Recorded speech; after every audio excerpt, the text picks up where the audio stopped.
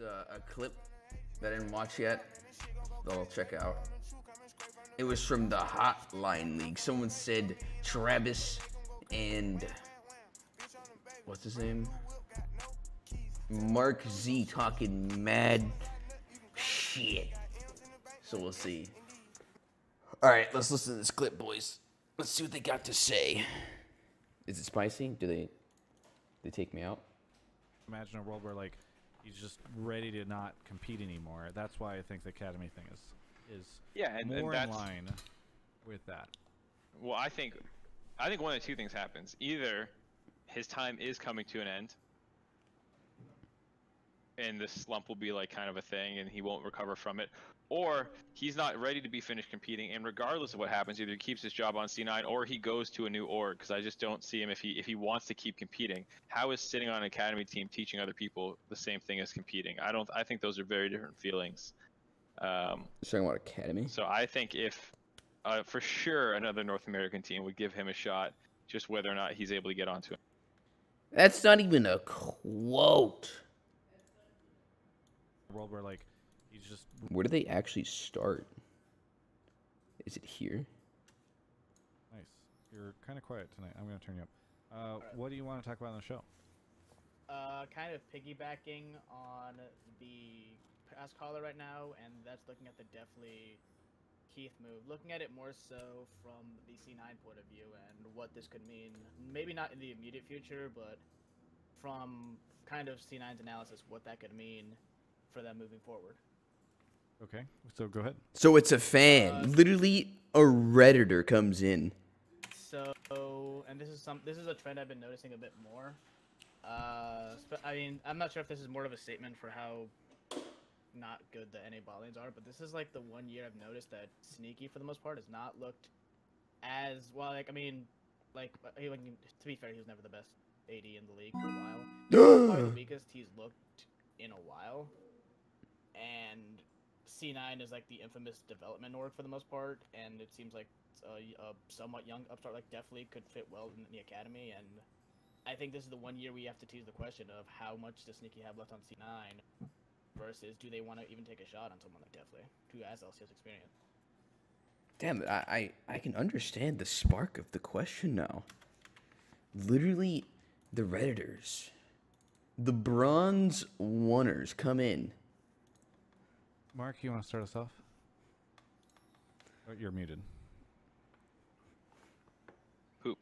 Uh, yeah, the whole sneaky and lane meme uh, is finally coming home. And I feel like I kind of agree. I've, I've always been a sneaky fan. I think he's been underrated a lot of the time because, um, you know, he doesn't feel like he gets that much attention in the draft or in game. And like, they still would have like high for percentage and, and good numbers overall.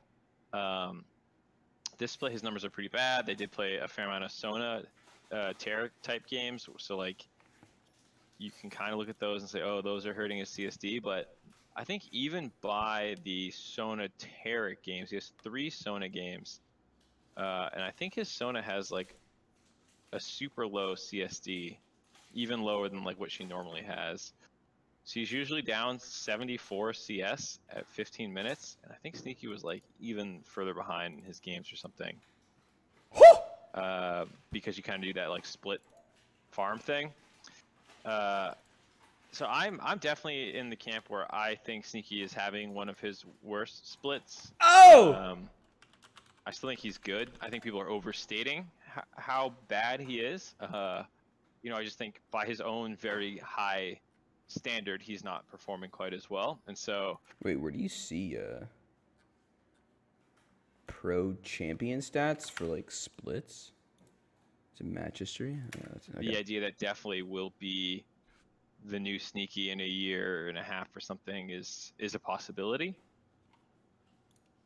I don't know where Sneaky's head's at. Like I've, I've I've never known Sneaky. Like there's some people who I get I talk to and I kind of know a little bit about them.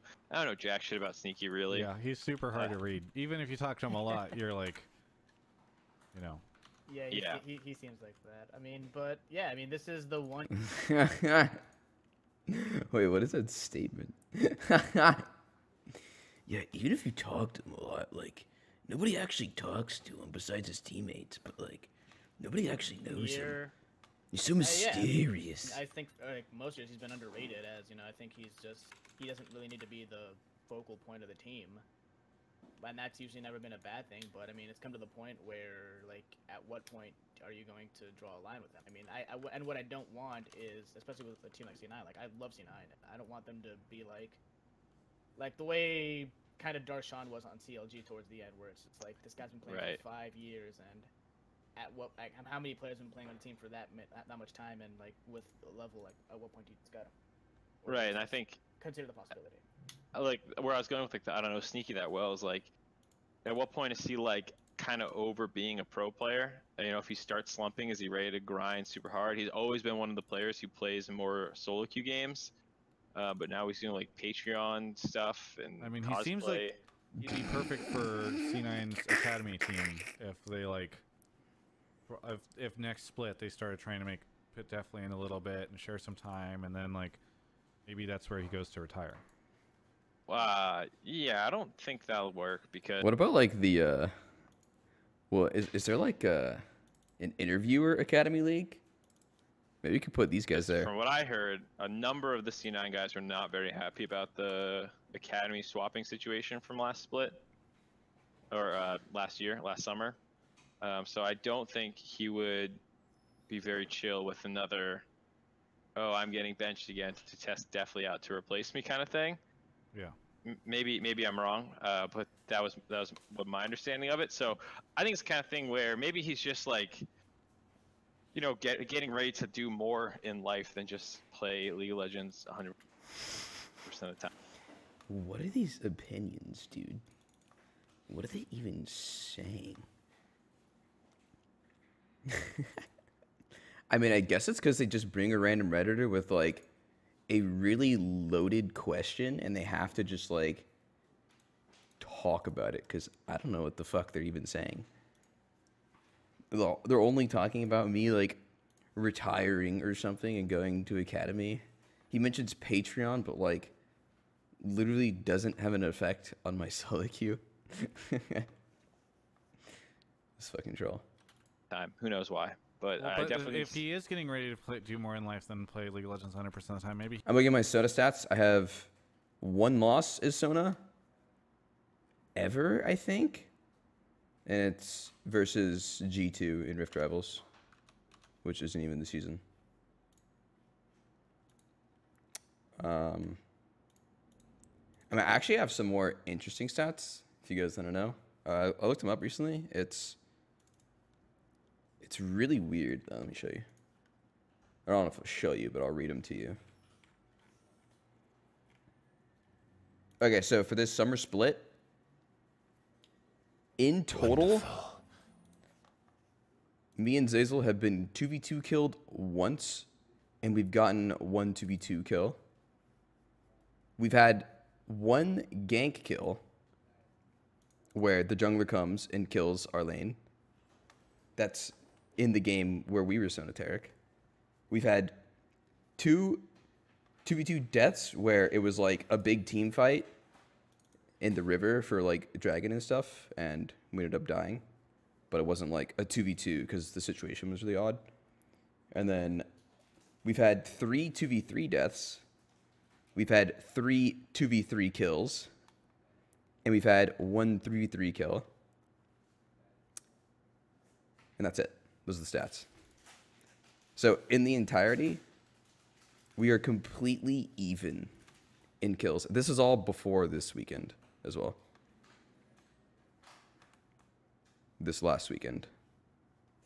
All those stats are from games that weren't from this last weekend.